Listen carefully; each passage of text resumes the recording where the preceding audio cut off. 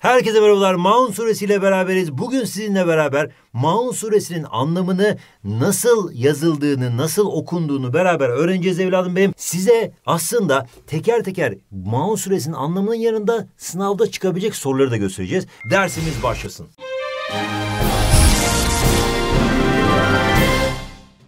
Bir kere Bismillahirrahmanirrahim. Maun suresinin kazanımlarımızda okunuşunu ve anlamını bilmemiz gerekiyor. Daha doğrusu hani illaki hani ezber çıkmaz tabii ki sınavda ama genel olarak biz çok güzel bir sure olduğu için ve gerçekten de çok güzel öğütler verdiği için bu sure hakkında bilgi sahibi olmamız gerekiyor.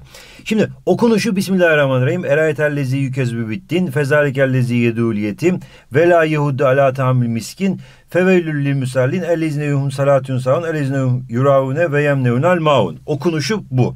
Okunuşunun yanında bir de anlamına bakalım. Şimdi Bismillahirrahmanirrahim ne demektir? Rahman ve Rahim olan Allah'ın adıyla. Yani esirgeyen ve bağışlayan tabii kaba manasıyla esirgeyen ve bağışlayan olan Allah'ın adıyla.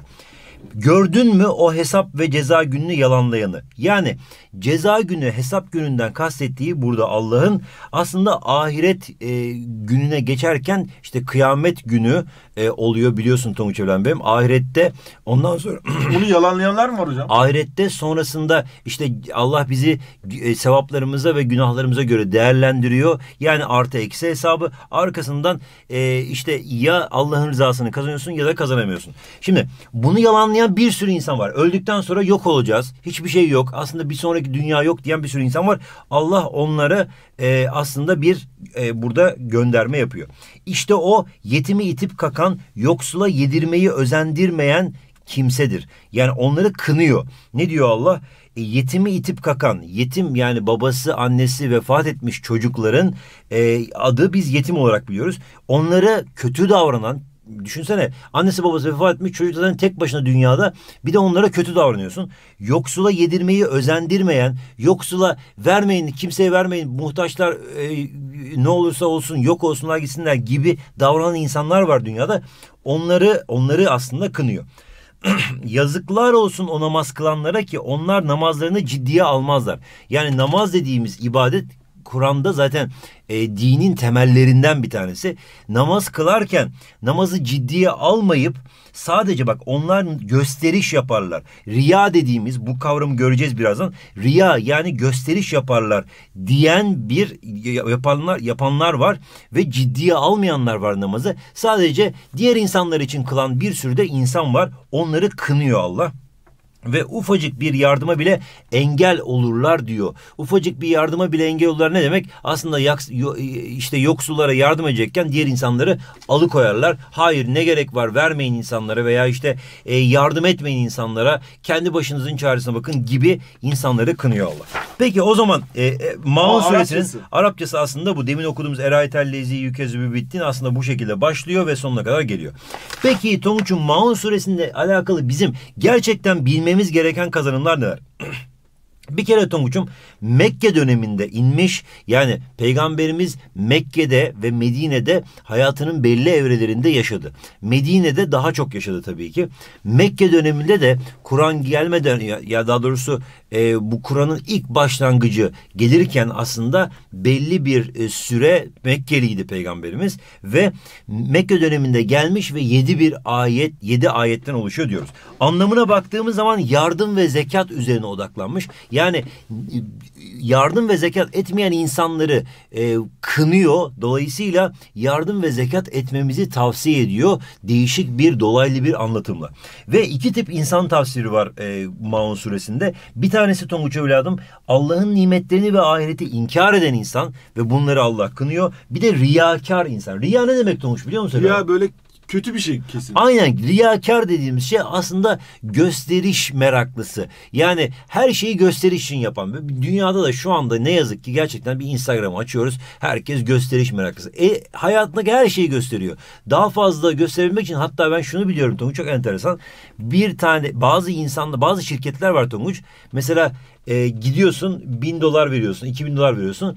E, seni alıyor, jetin içine koyuyor, oturtuyor. Jette fotoğraflar çekiyorsun, özel jette. Ondan sonra e, jet, jete binmeden çıkıp gidiyorsun. Sadece o fotoğraflar için bin dolar, iki bin dolar olan şirketler var. Yani tabii bu Halbuki aslında daha ucuz yapabilirler. yani. İnsanların bir ne dolar. kadar gösteriş meraklısı olduğunu gösteriyor. Tabii buradaki gösteriş o gösterişle farklı ama gö- gösteriş sonuçta burada bahsedilen Maun suresinde gösteriş için namaz kılarlar diyor. Yani Allah için hocam. ha Allah için kılmıyorlar. Yani Allah rızasını umursamıyorlar. Diyorlar ki ben diğer insanlara gösteriyorum. Ben dindar gözükürsem hani diğer dindar insanlar da bana destek olurlar falan tarzında çok adi, haysiyetsiz ve pislik insanlar var. Onları söylüyor Allah diyoruz.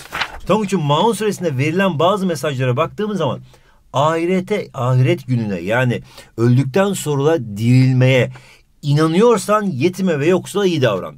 En önemli mesajdan bir tanesi bu. Yetim dediğimiz şey babası annesi vefat etmişti. Yoksul dediğimiz şey de muhtaç olan yani kendi imkanlarıyla geçinemeyen insanlara da iyi davranmamız emrediliyor.